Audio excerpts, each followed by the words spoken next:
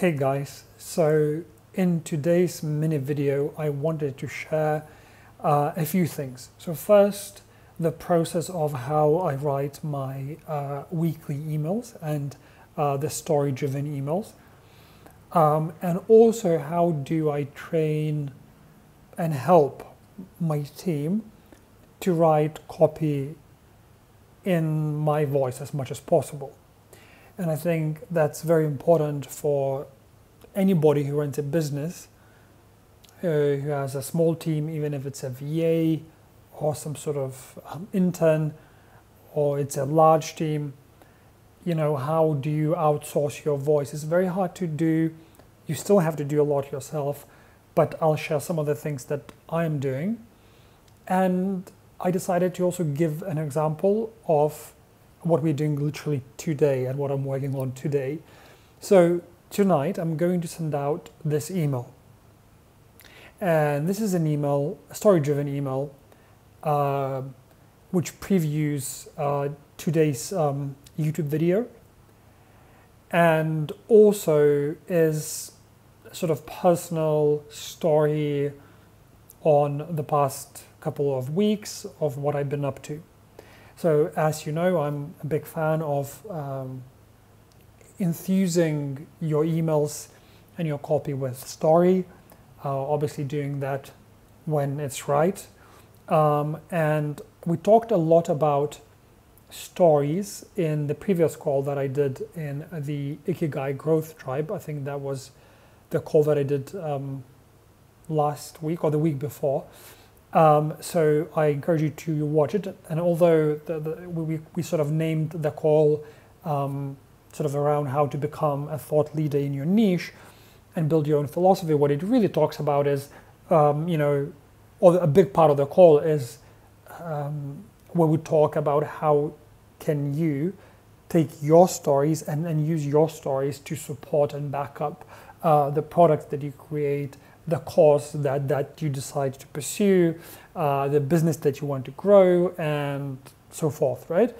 Um, so, so this is quite important, um, and there's a lot of uh, sort of foundational stuff in that call. So do have uh, a watch um, if you just head back to the library.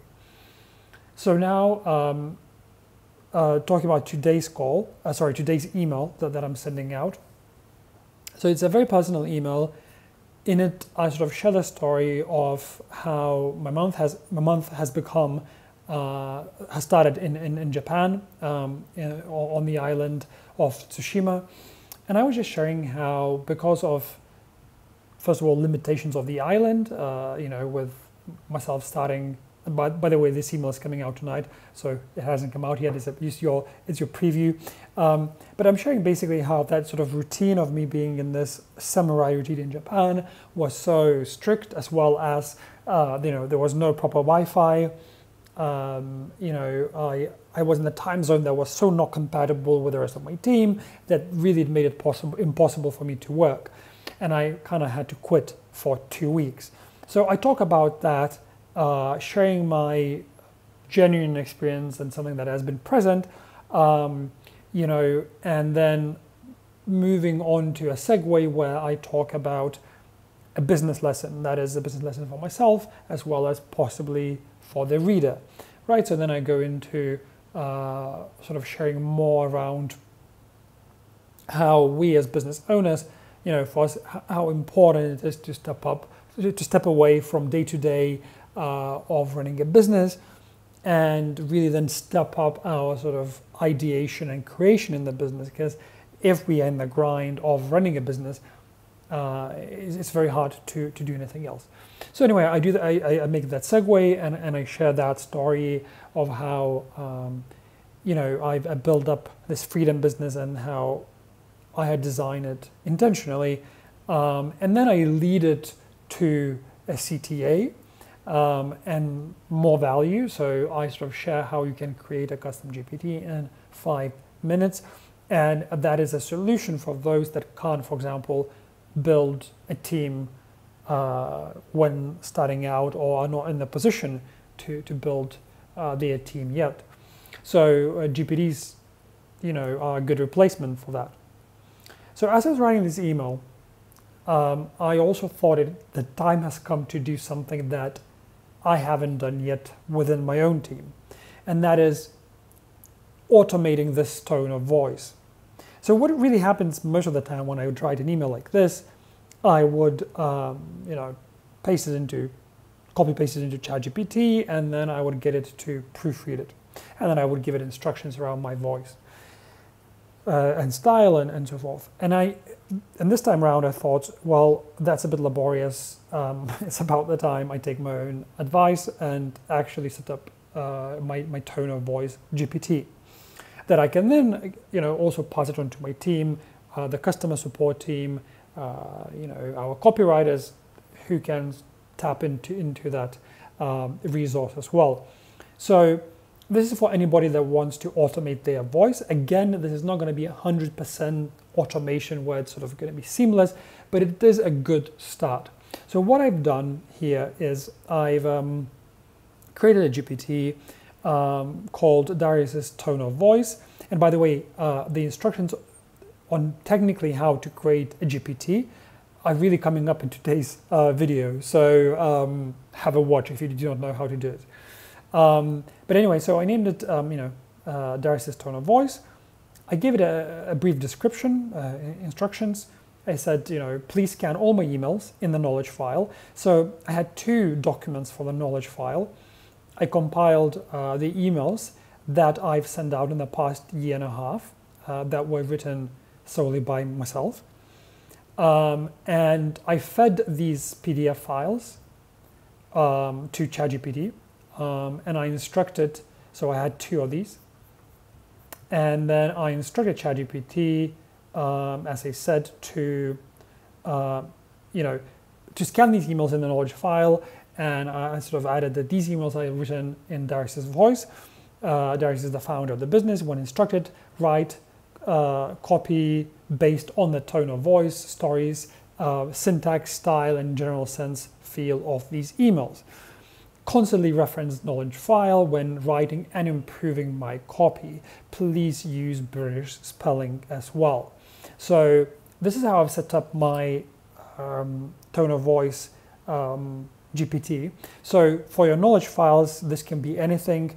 If you've written any sort of longer social media posts, maybe you've recorded some videos where you know you feel that your tone of voice is very clear. You can use those.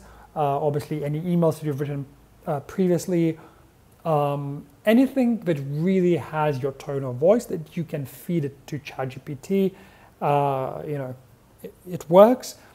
Um, so for now, I've just started out with these two docs. I'm, I'm sure I'm gonna perfect it because I've literally put this together in three minutes, like uh, because I had these PDFs already, uh, and I just had to upload it, right?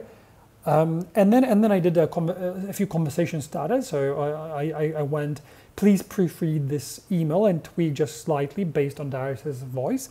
So this is the instance where, as I said, I would have written an email and I posted into ChatGPT, uh, pasted into ChatGPT, and I wanted to um, proofread it.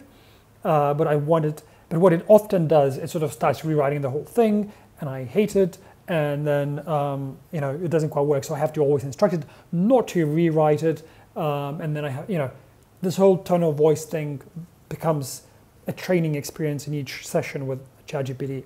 So in this case, I was like, okay, well, you have these emails, reference those, and tweak the email where needed. Um, you know, but I can also add like not to rewrite it, um, but you know, but reference uh, the the knowledge files. Another uh, sort of uh, mention, another conversation starter, I added was for our customer support team, which I would sort of suggest them to um, do the following. So I'd go, please rewrite this customer support response in Darius's voice. So whatever you know email they would have written to a client, uh, they could paste it, and based on the style, you know, ChatGPT would generate them an email. And then I did one more thing, uh, which would be interesting to explore, is like, you know, please describe Darius's tone of voice to me in great detail and how I could copy it. So that's like if anybody on the team wants to sort of have a summary of uh, the way we want the emails to sound. So for example, if I, I click on this conversation starter, uh, you know, and it sort of goes into uh, breaking down what my tone of voice is and, and how it sounds, and you know, um, um, you know, points out multiple um, tips for for people to uh, for the team to take on and um, implement in their copy. So you know, and right after I've done um, finished this bot, I, I, I took this bot and I copy pasted that for the team, and I said, hey, here is your um, you know, uh, clone of me. Um, have fun with it, and uh, you know, and, and hopefully use it for, for some of our emails. Uh, obviously, I'm not gonna, you know, a disclaimer. I'm not gonna outsource writing these emails. Like, this is something that I love doing, and I, it's, it's, quite important. And I, I will write these story-driven emails. But I feel that whenever it comes to, say, an email about a call that we just had and it's a call summary, well, that's an easy one to outsource, right? Um, because as a business owner, not only that you want to have these moments to step away from running your business, um, you know, occasionally every quarter, every, every half a year, every year, you know, and go on a retreat, a sabbatical, or whatever. But you also need to be able to step away from your day-to-day operations, even even on any single day, for you to really do some deep work, uh, do some creative uh, work as well. Um, so, yeah, so that's what I would say um, is quite of importance here, um, and see how you can also um, implement and, and apply some of these um, uh, you know tips in, in, in writing your, your own emails and helping and training your own team here. I'll see you very soon on our calls. Um, some of our AI experts also um, delivering some really good calls uh, this week. Um, and also, um, do not forget that for more info on storytelling uh, and, and, building a brand story, just go back to our doc, How to Become a Thought Leader, and the call that we did a few weeks ago. Um, so there's definitely a good resource to sort of further expand on what we just covered. And again, if you want to build your own GPT and you do not know how to do it, uh, watch today's video on YouTube where I, I, just do a very sort of simple, uh, you know, instructions-based uh, explanation of it. Thanks a lot for tuning in, and I'll speak to you very soon.